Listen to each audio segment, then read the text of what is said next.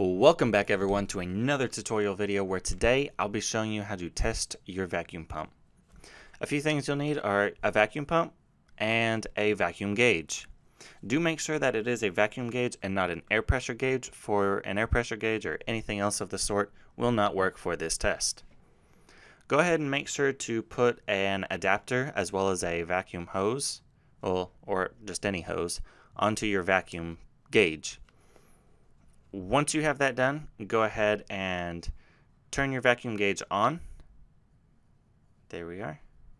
And make sure to zero it out so it resets.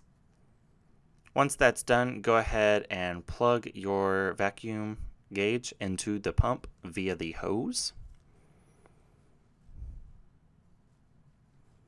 And there we go. Once that's done, go ahead and turn your vacuum pump on by plugging it into any outlet. Once the vacuum turns on, it will immediately start pulling vacuum and you will get a digital readout on your vacuum gauge. Go ahead and record your digital readout onto a sticky note or a piece of paper so that you have it in a safe place. So let's go over what the numbers actually mean. A perfect vacuum, which is considered 29.6 inches, which is space basically. Uh, a good pump will typically read anywhere from 27 to 29 inches. On my pump you saw was 28.9, which is really good.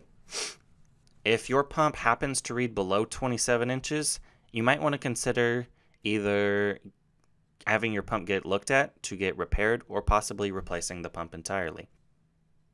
Alright, and that's it for this video. You can go ahead and reset your vacuum gauge so that and turn it off for next time. Um, thank you very much for watching, everybody. If you have any other questions or inquiries, you can go ahead and email me or give us a call, and I will put our contact info in the description, as well as our information for our website. Again, thank you very much for watching, and adios!